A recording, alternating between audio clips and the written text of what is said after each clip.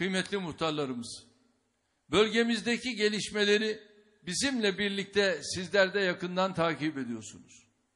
Komşumuz Suriye'de 13 yıl önce başlayan ve 1 milyon insanın hayatına mal olan ihtilafa henüz çözüm bulunmadı.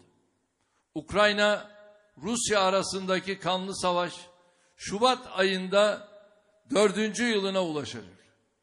Bir diğer komşumuz olan Irak halen terör belasıyla mücadele ediyor.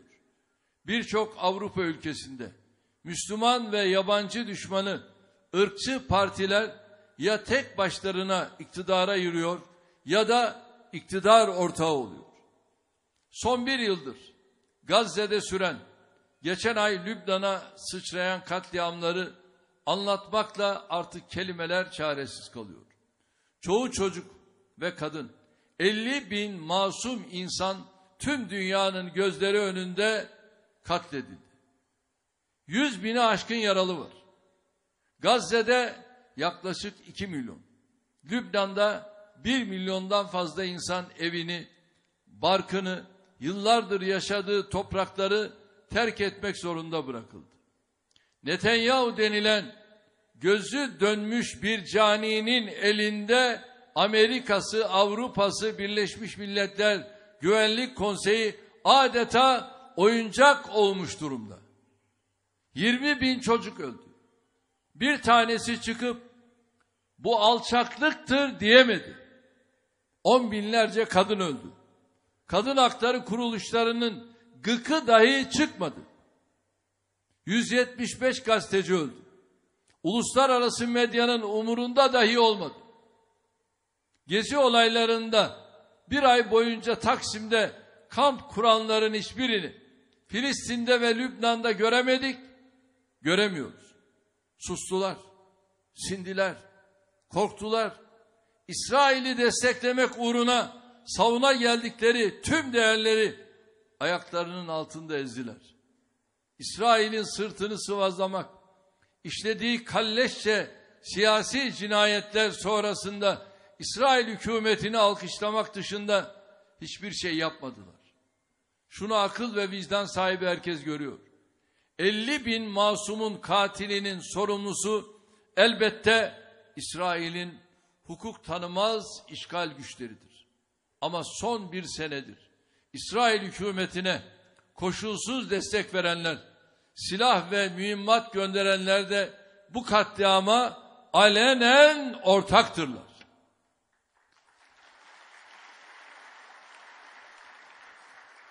Gazze'li, Batı Şerialı, Lübnanlı çocukların ahı, Siyonistler kadar onlara kol kanat gerenlerin de peşini bırakmayacaktır.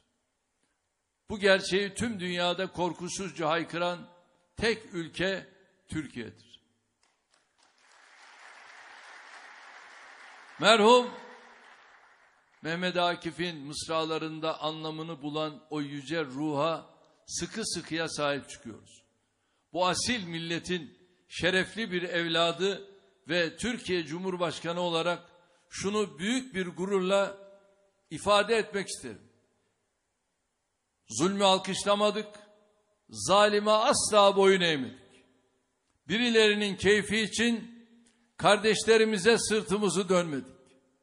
Hakkı tutup kaldırmak için İslam aleminde ve tüm dünyada öne atılan daima biz olduk.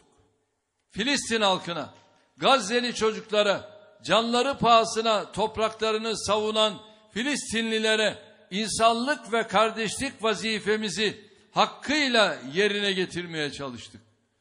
Şunu herkes bilsin. Türkiye olarak zalimin hasmıyız, mazlumun da hamisiyiz. Soykırım şebekesine karşı yürüttükleri haysiyet ve özgürlük mücadelesinde Filistin halkının tüm imkanlarımızla yanındayız.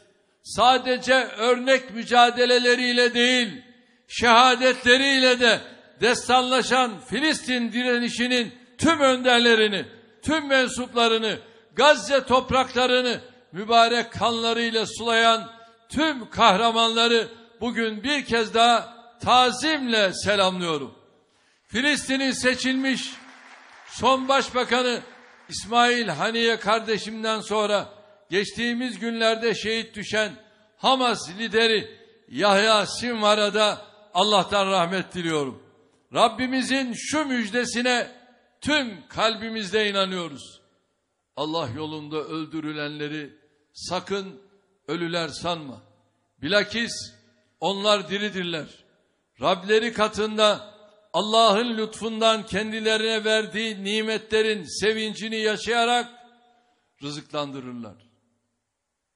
Allah katında mertebelerin en yükseğine erişmiş Filistin'in tüm şehitlerini, tüm şehitlerimizi rahmetle yad ediyorum.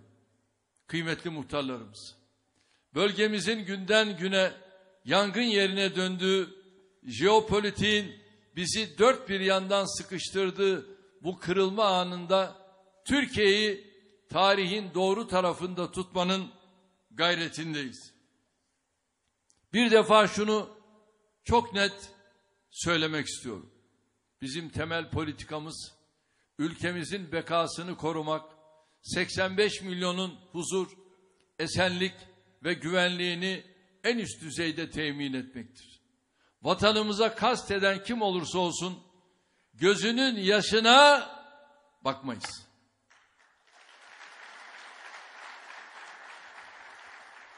Ne 782 bin kilometre kare vatan toprakları üzerinde ne de misak-ı milli coğrafyası üzerinde ameliyat yapılmasına müsaade etmeyiz.